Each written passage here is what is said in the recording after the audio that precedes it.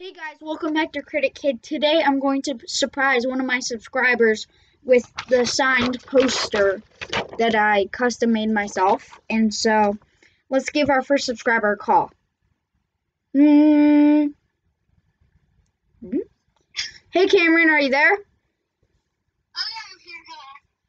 Uh, you won my poster signed, custom poster made that I made. Yep, Yes. Oh my gosh, seriously? Yep. So.